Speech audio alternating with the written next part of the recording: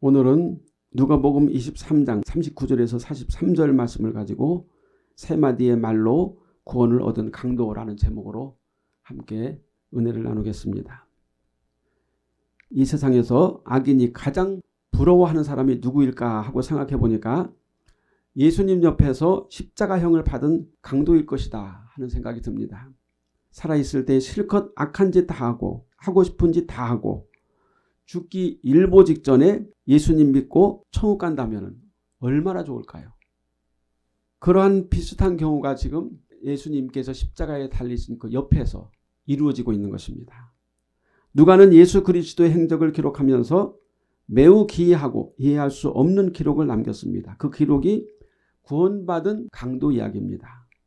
예수님께서 십자가에 달리실 때 가운데 계셨고 양옆에는 강도 둘이 로마법에서 가장 극형인 십자가형을 같이 받게 됩니다. 예수님은 빌라도의 고백처럼 아무 죄도 허물도 없으시지만 유대의 종교 지도자들의 모함으로 극형인 십자가에 달리시는 벌을 받으셨습니다. 아마도 예수님에게서 죄를 굳이 찾으라고 한다면 괘씸죄가 아닐까 생각이 듭니다. 실상 예수님은 전혀 죄가 없으시지만 대제사장들과 장로들에게 밉게 보여서 그 엄청난 형벌을 받으시게 된 것입니다. 나세렛 사람 평민으로서 하나님의 능력을 보란듯이 행하고 대낮에 수많은 병자들을 고치시고 심지어는 대놓고 바리새인들과 사두개인들의 죄를 책망하며 황당하게도 물 위를 걸으시고 죽은 자를 살리는 능력을 행하셨습니다. 아마도 유대 종교 기득권자들은 예수님께서 감히 하나님의 능력을 보란듯이 행하는 것에 대해서 매우 불쾌하고 괘씸해 보였을 것입니다. 나세렛 출신 무식한 무지랭이 주제에 어디서 하나님의 역사를 행하냐 어디서 하나님의 말씀을 전하냐 하면서 예수님을 매우 기분 나쁘게 생각했다 그 말입니다. 그러므로 유대 종교 기득권자들은 예수님에게 불경죄와 괘씸죄를 걸어서 로마 형벌의 극형인 십자가형을 언도해달라고 로마 총독 빌라도에게 소리소리 지르면서 이제 난리를 쳤습니다.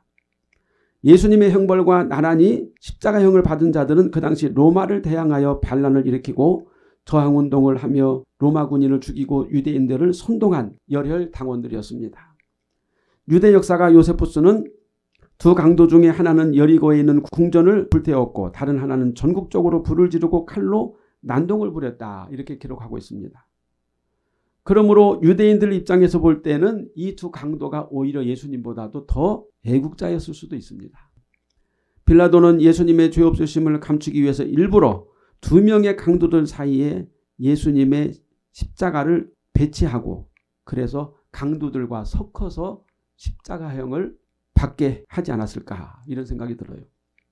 이것은 이미 선지자를 통해서 예언된 범죄자 중 하나로 헤아림을 입었습니다. 이사야서 53장 13절에서 기록된 예언의 말씀이 성취되어지기 위해서 하나님은 이 빌라도를 통해 예수님을 강도들과 함께 십자가에 못 박도록 그렇게 역사하신 것입니다.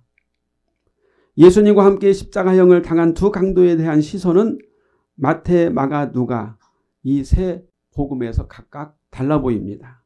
마태는 두 강도가 함께 예수님을 욕했다라고 기록하고 있습니다. 아마도 두 강도는 예수님을 계속해서 비난했던 것 같습니다. 그 이유는 만일 예수님이 메시아이며 하나님의 아들이라면 자기들도 구원하고 예수님 당신도 십자가에서 구원했어야 한다 이렇게 생각하면서 예수님을 비난했죠. 구경하던 무리들과 대제사장들과 서기관들과 바리새인들이 예수님을 똑같이 비난하고 조롱했기 때문에 그렇습니다. 네가 만일 하나님의 아들이라면 십자가에서 내려와라. 이렇게 대제사장들과 바리새인들 무리들이 예수님을 조롱했습니다. 그러므로 강도들도 그들의 야유에 함께 동참했다고 마태는 말하고 있습니다. 마가복음에서 마가는 두 강도에 대해서 언급했지만 그들이 예수님에게 어떤 말을 했다는 기록은 없습니다. 그러나 누가복음에서 누가는 두 강도에 대해서 마태와 다른 기록을 남겼습니다. 누가가 본 두 강도들은 어떤 모습이었을까요? 예수님을 비방한 자는 두 강도가 아니라 누가복음에 보면은 한 강도였어요. 내가 그리스도가 아니냐 너와 우리를 구원하라. 마태가 말한 예수님에 대한 강도들의 야유와 비난은 둘이 동일하게 한 것처럼 보이지만 실제는 한 명만 했다. 한 명의 강도만 예수님을 비난했다고 누가복음이 고쳐서 기록하고 있는 것을 볼 수가 있습니다. 우리는 객관적으로 볼 때 이 누가와 마태의 기록 중에서 누가의 기록을 더 믿을 만하다 그렇게 여길 수가 있습니다. 누가는 그 당시 의사였고 매우 섬세하고 용이 주도한 사람이기 때문에 두 강도의 다른 말을 분명하게 구별했을 것이라고 생각이 듭니다. 그러나 마태는 왜 예수님의 십자가의 죽으심을 끝까지 섬세하게 보지 못했을까? 실상 예수님께서 십자가에 달리신 후에 모든 제자들은 도망갔고 감히 십자가 밑에까지 오지 못하고 멀찌감치 떨어져서 구경하듯이 멀리서 바라보고 있었으므로 마태도 역시 강도들의 이야기를 자세히 알아듣지 못했을 가능성이 있습니다. 그런데 마지막까지 예수님 곁에 예수님이 십자가에 못 박히시는 그 곁에 남아있던 제자는 요한밖에 없었습니다. 그런데 여기서 누가는 제자가 아니었지만 마지막까지 요한과 함께 남아서 예수님의 최후를 지켜보았을 것이고 나중에 강도 중에 한 사람이 회개하는 것을 목격했을 수도 있습니다. 마태는 멀찌감치 서서 무리들과 대제사장들, 서기관들, 바리새인들이 예수님을 비난하는 소리와 함께 강도들의 얼굴이나 입모양을 보고 아 저들도 같이 비난하는구나 이렇게 여겼을 수도 있다는 것입니다. 누가는 누가복음뿐만 아니고 사도행전도 기록했는데 사도행전 서두에서 이렇게 밝혔습니다. 예수의 행하시며 가르치시기를 시작하신부터 그의 택하신 사도들에게 성령으로 명하시고 승천하신 날까지의 일을 기록하여 노라. 이 말씀은 누가가 마치 그림자처럼 예수님의 곁을 따라다니며 예수님의 일거수일투족을 기록으로 남겼고 나중에는 사도 바울의 곁에서 사도 바울의 그림자처럼 따라다니면서 사도 바울의 복음 행적을 매우 소상하게 기록하여 남긴 것 바로 그것이 누가복음과 사도행전이었습니다. 그렇기 때문에 어떤 제자도 듣지 못한 십자가상에서 예수님과 한편의 강도의 대화를 듣고 자세하게 기록할 수 있었다. 이렇게 보여집니다. 예수님을 향한 강도의 세 마디 말이 있습니다. 첫 마디는 내가 동일한 범죄를 받고서도 하나님을 두려워 아니하느냐 하는 것입니다. 이 말은 다른 편에 있는 강도가 예수님을 조롱할 때 그 조롱하는 강도를 꾸짖으면서 했던 말입니다. 그들이 그 강도들이 받는 십자가형은 그 악행에 합당하다. 합당한 형벌이다. 이런 뜻이죠. 실제로 강도들은 애국이라는 명목으로 로마 정권에 대해서 항쟁하면서 무고한 사람들을 해치고 파괴하는 일을 서슴지 않았습니다. 예수님을 비방했던 강도는 독립운동의 방법 중 하나로 악행을 저질렀으므로 그 죄를 정치적 상황에 비추어 합리화하려 했던 것입니다. 다시 말하면 나는 정치적인 한 거를 했을 뿐이지 나쁜 짓 한 것은 아니다. 그래서 십자가형을 받는 것이 억울하다. 그렇게 강도들은 호소했던 것입니다. 그러나 다른 한 강도는 모세법대로 이는 이로 눈은 눈으로 생명은 생명으로 본다면 어떤 이유든지 사람을 죽였으니 당연히 사형을 당하는 것이 옳다. 정의롭다. 이렇게 그것을 깨닫고 고백을 했습니다. 인간은 자신의 죄를 합리화하고 정당화하기 위해서 환경이나 시대를 탓하고 남을 탓하는 버릇이 있습니다. 어쩌면 예수님을 비난한 강도는 가룟유다처럼 예수님께서 민족 해방 전선에서 투쟁하지 않고 그저 뜬구름 잡는 하나님의 나라 천국에 대해서만 말씀하시니까 미워했을 것이고 로마 권력으로부터 이스라엘을 해방시키려는 열성당원들의 노고를 예수님이 칭찬해 주지 않고 지지하지 않으시니까 나중에는 예수님을 어떻게 했습니까? 적으로 간주했다 하는 것입니다. 그러나 다른 편에 있는 강도, 그 구원받은 한 강도는 거룩하시고 선하신 그리스도 앞에서 자신이 죄인임을 알았고 죄인임을 고백했고 자신이 이스라엘 해방운동이라고 하는 명목으로 행한 범죄를 예수님 앞에 신하고 고백하게 되었다는 것입니다. 강도의 첫 마디는 자신이 행한 모든 것이 죄악임을 주님 앞에 고백한 것입니다. 어떤 좋은 의도가 있다 하더라도 어떤 선의가 있다 하더라도 하나님의 뜻대로 순종하지 않고 하나님의 말씀을 순종하지 않고 예수님의 선한 뜻대로 행하지 않았다면 그것은 다 죄다 하는 것이죠. 둘째 마디가 있는데 이 둘째 마디, 이 강도가 한 둘째 마디는 이 사람이 행한 것은 옳지 않은 것이 없느니라. 강도는 예수님에 대해서 이 사람, 이 사람이라고 말했어요. 이 사람에 대해서는 우리가 두 가지로 해석할 수 있습니다. 예수님을 무시하며 예수님을 죽이려고 했던 그 바리새인들이나 서기관들, 유대 종교 지도자들이 이 단어를 사용했어요. 똑같이 이 사람이라 하는 단어를 사용했는데 그 종교 권력자들이 사용했던 이 사람은 어떤 뜻이냐? 이 사람이 우리가 그렇게 말하죠. 어떤 사람 멸시할 때 이 사람이 모멸적인 칭호로 사용했다 그 말입니다. 그러나 이 강도가 말한 이 사람은 그냥 이 사람이가 아니에요. 그냥 사람을 말하는 것이 아니고 이분이 이분이 행한 것은 옳지 않은 것이 없다. 이렇게 이 강도는 매우 예수님을 존경하고 높이며 그렇게 사용했던 것입니다. 강도가 예수님을 정말 의롭고 하나님의 아들 메시아로 믿고 있었다면 이분, 이분께서 이분이 이렇게 불렀다고 저는 확신합니다. 이분의 행한 것이 옳지 않은 것이 없다라고 하는 강도의 말은 예수님이 하신 말씀, 병고침, 능력과 기적 등은 다 옳다, 옳지 않은 것이 없다. 100% 옳다라고 하는 긍정의 말입니다. 여기서 옳지 않다라고 하는 말은 어떤 뜻이냐면은 부족당하다, 틀렸다, 상처를 주었다, 빗나갔다, 비이성적이다 하는 뜻입니다. 그런데 예수님께서 그 당시 하나님의 나라 말씀을 전하시고 병 고치시고 능력과 기적을 행하셨을 때 바리새인들과 대제사장들 유대 종교 권력자들은 예수님이 하는 것에 대해서 어떻게 말했습니까? 모세를 모독한다. 그리고 하나님에 대해서 불경스럽다. 이 말은 무슨 뜻이냐면 옳지 않다. 부적합하다. 그리고 비성적이다. 틀렸다. 이런 뜻이죠. 예수님 옆에 있는 강도는 뭐라고 그랬습니까? 예수님께서 하신 모든 일이 옳지 않은 것이 없다. 다 옳다. 옳지 않은 것이 없다는 것은 강조하는 것이죠. 다 옳다라고 말했습니다. 이 강도는 민족 해방 전선에서 열성당원으로 뛰었고 극단적 행동으로 강도, 살인을 저질렀고 그래서 그가 행한 모든 행위는 민족을 위한다는 명분이 있지만 양심적으로 볼 때 잘못 되었고 비뚤어진 의도에서 되어졌다는 사실을 스스로 인정하는 것입니다. 예수님이 행하신 것이 옳다라고 하는 것은 내가 행한 것이 잘못됐다는 것을 인정하는 것이죠. 만약에 우리가 내가 행한 것이 옳다고 말한다면 예수님의 말씀, 예수님의 생각, 예수님의 행하신 모든 것들이 옳지 않다고 주장하는 것과 똑같습니다. 예수님께서 행하신 모든 것이 옳다고 우리가 인정한다면 저는 죄인입니다. 제가 행한 것은 다 잘못됐습니다. 그렇게 고백해야 돼요. 예수님께서 바리새인들을 책망하신 것이나 하나님의 나라를 전하시고 병든 자, 약자, 버림받은 자, 세리나 창기들을 만나시고 대화하시고 고쳐주신 것은 결코 강도들 또 열성당원들이 의도했던 영웅적인 악행들과는 비교도 되지 않는 메시아로서의 온전한 행위였다는 사실을 고백하고 있는 것입니다. 예수님을 비난한 반대쪽의 강도에게 그 사실을 말하면서 꾸짖는 것이죠.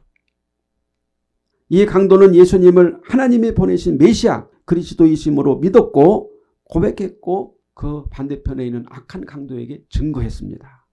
강도의 이러한 놀라운 고백을 누가복음을 기록한 누가는 세심히 듣고 복음서에 기록하게 되었다는 것입니다. 셋째 마디는 예수여 당신의 나라에 임하실 때 나를 생각하소서 여기서 한글 번역에 빠진 단어가 있는데 주여 주여라고 하는 단어입니다. 결국 마지막에 세 번째 마디에서 강도는 예수님을 누구라고 불렀습니까? 주여 그렇게 불렀어요. 그 당시 로마의 지배를 당하는 모든 도시 국가들의 왕들과 귀족들은 로마 황제를 가이사라고 불렀는데 이 가이사라는 뜻은 주라는 뜻입니다. 로드라는 뜻이에요. 그래서 예수님은 가이사라 빌립보 즉 황제 숭배 우상이 있는 곳에서 제자들에게 이렇게 물으셨어요. 너희는 나를 누구라 부르느냐? 그때 베드로가 이렇게 대답했죠. 주는 그리스도시요 살아계신 하나님의 아들이십니다. 여기서 베드로가 나의 주는 가이사가 아니라 예수님이시고 살아계신 하나님의 아들이십니다라고 공개적으로 선포한 것이죠.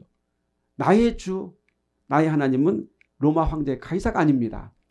예수 그리스도 당신입니다. 이렇게 고백한 거예요. 이 놀라운 고백을 주님은 기뻐하셨고 그 고백 위에 교회를 세우시겠다고 약속했습니다. 그런데 그 주님이라는 고백, 예수님을 나의 주, 나의 하나님이라고 하는 고백을 강도가 어디서 했습니까? 십자가상에서 고통 중에 당신은 나의 주님입니다. 이렇게 고백했다 그 말입니다.